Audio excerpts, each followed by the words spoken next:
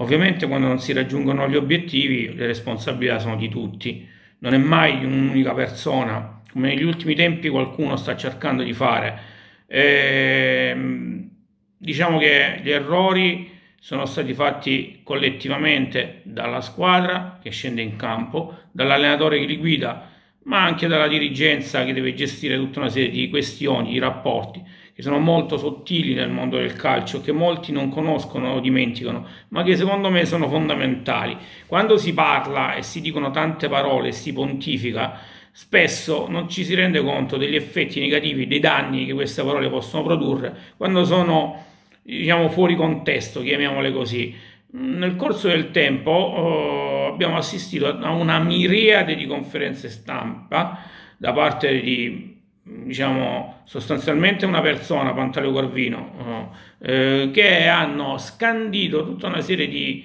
fattori, di questioni, di aspetti che hanno caratterizzato, secondo me, in senso assai negativo, le vicissitudini dell'Unione Sportiva Lecce Società per Azioni, che mi piacerebbe ehm, rimodulare e, e ridenominare quale Unione Sportiva Corvino Società per Azioni, visto che solo quest'uomo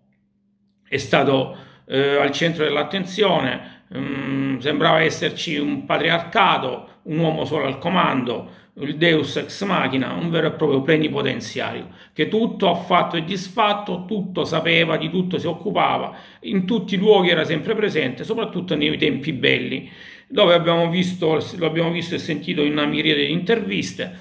ha deciso di entrare in scena eh, in pompa magna eh, con il beneplacito della collettività, della tifoseria, della stampa naturalmente e, e, ha deciso di imporre le proprie leggi, le proprie regole e il proprio credo. È un, un, diciamo, un diritto di chi assume pieni poteri e questo diritto però è sottoponibile anche a un eventuale vaglio critico, quale quello che il sottoscritto immodestamente, e lo dico immodestamente, sta compiendo adesso. Posso anche peccare di superbia e di immodestia, però io sono certo eh, che tante cose che sono state dette e contrabbandate nel corso del tempo non rispondono a verità e hanno minato alcuni rapporti, hanno terminato alcuni vulnera eh, che si sono poi riverberati anche nelle prestazioni dei calciatori, nella serenità dell'ambiente e anche ovviamente nei risultati raggiunti. Quando si vince, si vi, si, a Lecce ha vinto soltanto una persona o quasi, quando si è perso ha vinto soltanto una persona diversa dalla prima o quasi. E questo non è giusto. Mm, abbiamo assistito alla favoletta che eh, il Lecce, eh, quando le cose non vanno bene, eh, ha um, programmato in un arco di tempo triennale quando quelle cose sembravano stare molto bene quindi essere vicini al traguardo, poi invece il traguardo da raggiungere era eh, nel corso del, dell'anno e quindi a seconda dei momenti eh, si è voluto poi eh, parlare o meno del famigerato progetto del progetto triennale. Oggi certamente si dirà che il quarto posto il quinto posto così come è stato conseguito dalla squadra in realtà è un primo tassello di un arco temporale ben più ampio di tre anni. Sta favoletta io non me la bevo, eh, non se la beve tanta altra gente, nell'intervista abbiamo sentito eh, fino all'ultima, prima della gara del ritorno del Venezia, come sostanzialmente il programma è ampio respiro, eh, è stata posta molta attenzione al vivaio, alle strutture, agli aspetti sociosanitari, alla dagaia, all'abbellimento dello stadio, eh, a tante altre belle cose che sono state fumo negli occhi, ma eh, quello che a noi interessa oggi capire come si è mosso Antonio Corvino nel mercato eh, con quali prospettive e soprattutto con quali risultati. Non si può consentire di eh, ovviamente eh, limitare l'attenzione all'ultima partita, non si può consentire di ascrivere responsabilità e colpe alla, soltanto all'allenatore che pure ne ha e non si può consentire di dare una falsa rappresentazione della realtà eh, deri, secondo la quale eh, Pantaleo Corvino è venuto a ricostruire sulle macerie lasciate da Meluso. Eh, su questo aspetto ci tengo a, a, chiarire che non è così. Si è parlato in conferenza stampa di 15 milioni di esposizione debitoria per il montepremi ingaggi, fatto questo non vero, perché da questi bisognerebbe togliere quelli che riguardano gli allenatori, i verani, in particolare lo staff che era di 1 milione e 600 mila euro circa, quelli derivanti dalle cessioni di Rispoli, Falco, ehm, eh, Petriccione, lo stesso Shakov, che hanno alleggerito il montepremi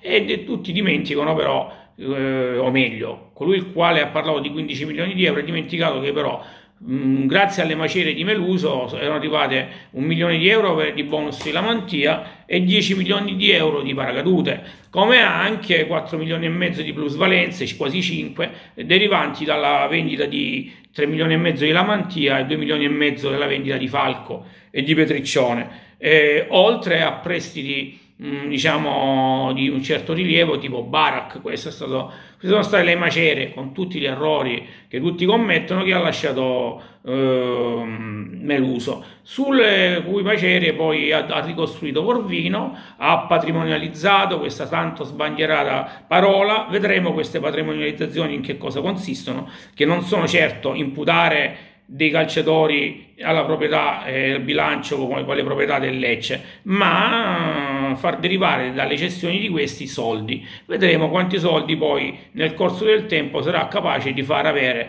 Pantaleo Corvino all'Unione Sportiva Lecce. E in questo senso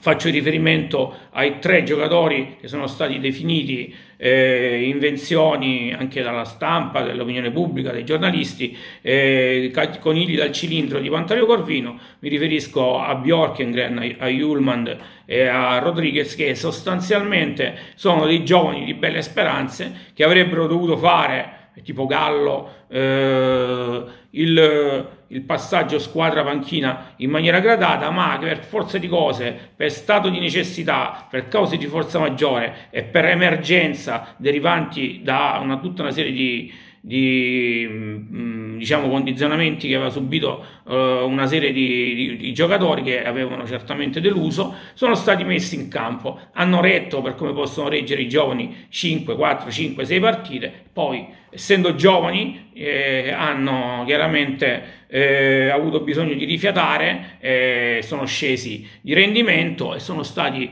eh, sicuramente i protagonisti negativi delle ultime decisive 6, 7, 8 partite. Mm, questo giusto per eh, diciamo, ricondurre nell'alveo della verità questi famosi conigli cacciati dal cilindro da parte di Corvino, che dimentica però che dal suo cilindro sono usciti anche Zuda, Nikolov, ehm, eh, Paganini, eh, lo stesso Stepinski, eh, il professor Darmagu che per tutto il campionato era infortunato e poi stranamente nelle ultime tre domeniche ha sostituito in pianta stabile da titolare il giocatore più forte che abbiamo avuto quest'anno in difesa, Meccariello, è sicuramente il più tecnico. Ehm,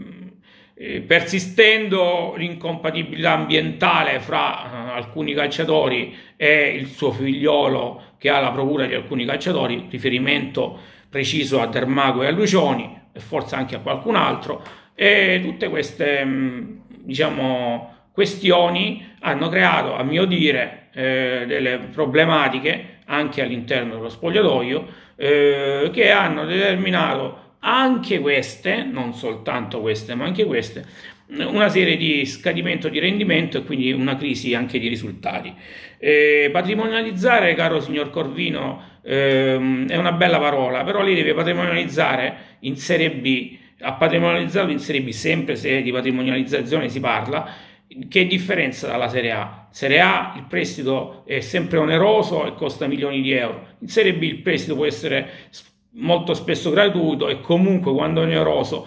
si può costare molto molto di meno eh, ed è quindi molto più semplice acquistare giocatori in prestito dalla, per la Serie B o pagarli poco rispetto alla Serie A. Ne riparleremo quando sarà in grado di salire in Serie A e quando sarà in grado di patrimonializzare in Serie A, così come lei ha detto di saper fare, come lei spesso ha saputo fare in altri posti eh, diversi da Lecce. E aggiungo un altro particolare e non mi esimo dal dirlo, che questa squadra eh, è stata costruita male e gestita anche male e di questo sono pronto a mh, mm, fare riferimenti, nomi e cifre.